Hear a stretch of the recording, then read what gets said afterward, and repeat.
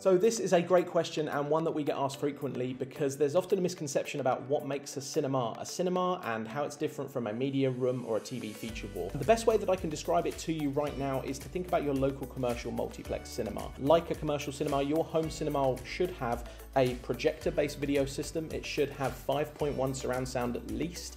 It should also have full light management so that the room can go completely dark and have some form of acoustic treatment that creates that cinematic atmosphere in the space. Um, we have made separate videos on all of those things, so be sure to go and watch those if you haven't already. Now, what sets a media room apart from that? Well, all cinemas can technically be called media rooms, but not all media rooms can be called cinemas, and let me tell you why. A media room could be any cinema that doesn't fit one of those described uh, factors that I've just mentioned. It may have a TV instead of a projector. It may have no light management so that you can't control it and make the room completely dark.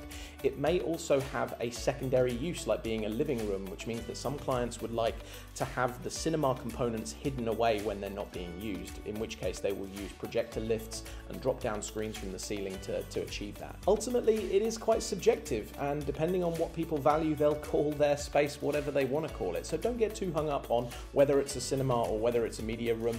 The important thing is that it's right for you. If cinemas and media rooms aren't your thing, then maybe a TV feature wall is something that you would be more interested in. Now, rather than putting that into this video, we've actually created a whole video that's just about TV feature walls. So if you want to go and watch that, just check it out at the uh, video link here. You can go and watch that straight away now. If you found this video helpful and uh, you want to see more of it, we really love making it. So please remember to make sure you like this video and also subscribe to our channel so that you get updates on all of the new videos that get released.